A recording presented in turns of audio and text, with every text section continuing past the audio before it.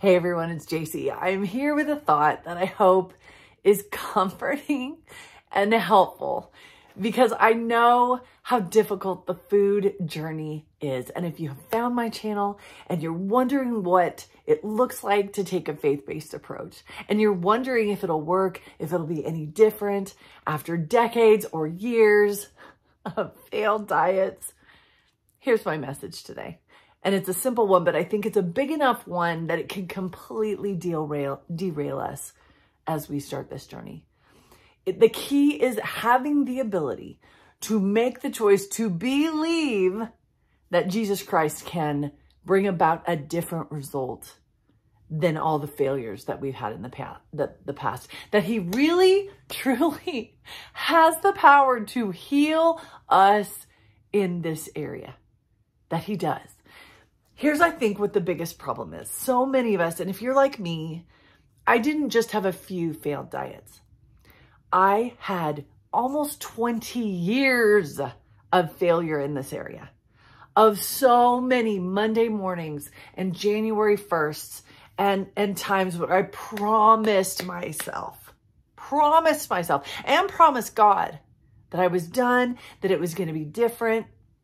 And sometimes I'd last a few days. Sometimes I would last a few hours. And the shame of that and the sense of that enormity of that failure so many failures. It just can sit like a weight on your shoulders. And so as I begin talking in this channel, or as you begin thinking about taking a faith-based approach, I mean, the enemy's biggest weapon is to say, mm, you know, so many failures. You think this is going to be different? You've, you've failed too many times. It's too hard. It's too hard. You can't do it. I don't care if he helps you. You are a failure in this area or you are too weak in this area. And he just parades those years of failure before our mind, right? So many times we've tried.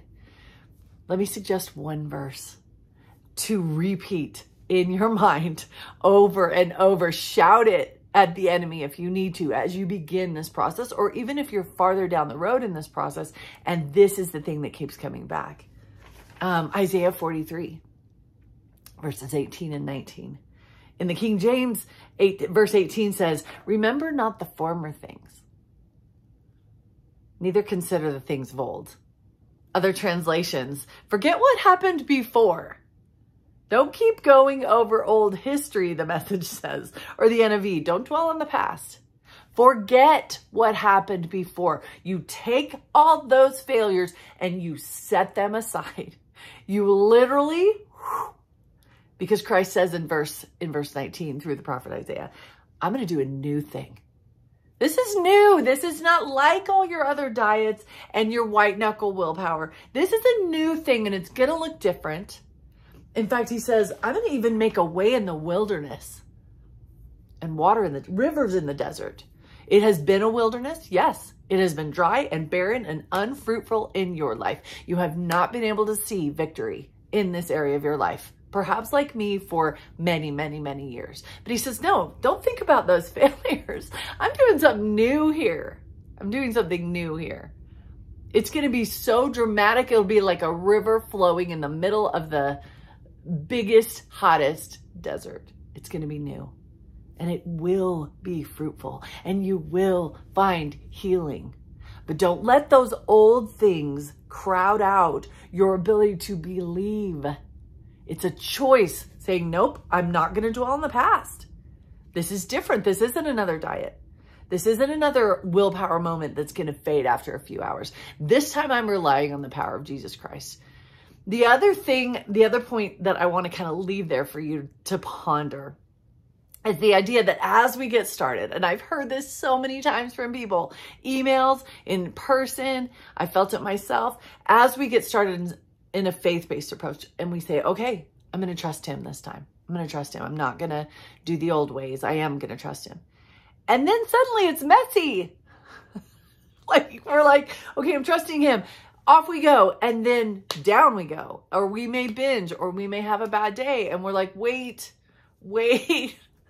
I, this was supposed to be, he's helping me. And I think there's this expectation that once we surrender this, that it's just going to be linear. Like I'm just going to get better and better and better and it's going to be great. And his power is here and there's going to be no issues. I'm here to validate that it's messy. What he is doing with us in this journey is not just dieting and helping us lose weight. That's not what this is about. This is about transforming our mind when it comes to food, completely reworking and rewiring our entire thought process, our whole approach to food in our life. That is messy. It's going to be messy and it's okay. It doesn't mean he's not in the process, right? Um, I was thinking of, in order to fight, to hold on to belief as it's a little bit messy. I was thinking of the verse in Mark 9 where the father whose whose child is possessed and no one has been able to help comes to Jesus and says, Lord, I believe, help thou my unbelief. Like I believe, but I'm trembling. I help me because the unbelief is right there knocking on the door, right? That's what we're talking about in this video. I I found a quote. Oh, I think I can do this without my glasses. I found a quote from author Pete Enns, E-N-N-S, in his book, The Sin of Certainty where he was talking about Mark 9. And he's, he described it in a way I thought that is the food journey, food journey. That's what it looks like. After quoting that verse, Lord, I believe, help thou my, my unbelief, he says, of course, as we all know, this suffering father isn't saying, Jesus, I am um, operating on about an 85% degree of certainty that you were able to do this, but I'd like you to try to rev it up to 100%. He says, rather, as I think most any parent can understand, the father needs help letting go. The situation is out of his control. He needs to trust Jesus with his son. The man says, in effect, listen to this. Yes, I trust you. I'm trying at least. I want to. I'm scared. Help me trust you. To me, that's what the faith-based process looks like when we begin to tackle the different layers that are contributing to our food demons. For many of us, in fact, I would say for most of us, if you are coming out of generation or a, a generation where your parents carried this food trauma, it was passed on to you, or if you've had it since you were a teenager, there are layers and layers. For me, it was not a simple, Jaci, just remove this one limiting belief and you'll be fine. There were layers upon layers of false beliefs when it came to my relationship with food. And so it felt a lot like like this. In fact, let's put let's put the food journey into that same um the situation is out of control, right? We need to trust Jesus with our diets. Then we say, in effect, Yes, I trust you. I'm trying at least. I want to. I'm scared. Help me trust you. Um, if it's messy, that's okay. Because when you're dealing with transforming a mind, of course it's going to be messy. I would have days that I would do so good and feel so free. And then the other days where I was battling the enemy and I didn't right have all the tools yet and I was just learning them. Yes, I would go and binge. And yes, I would have days that I would fail and the Lord would be right there with his hand going, nope, stand up, stand up. It's like learning to sword fight, right? It's like learning to be a warrior. In the early days, you're just learning to use new weapons. And Satan would come at me sometimes and sometimes he would take me down. But as I clung to the Lord's hand and said, no, I want to learn this. I want to be new. I want to believe there will be rivers in the desert. that new thing happened. But the challenge to our faith is that if we think it's just going to be poof, I'm trusting him now. It's all going to be beautiful. Then when it isn't, down we'll go. It's choosing to believe whatever this process looks like and whatever he needs to take me through as I learn how to see food in a new way.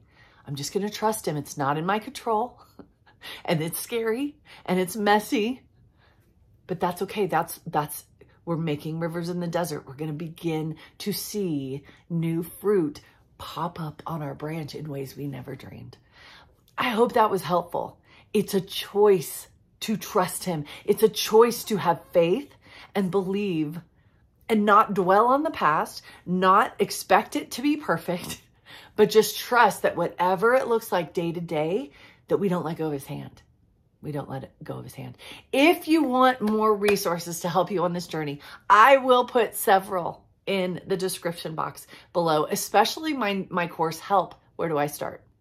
If that's where you're, if you're at the beginning, that course could be really helpful. And I'll mention some other things that you can look at if you want to keep going on this path and really see true, real healing in this area of your life.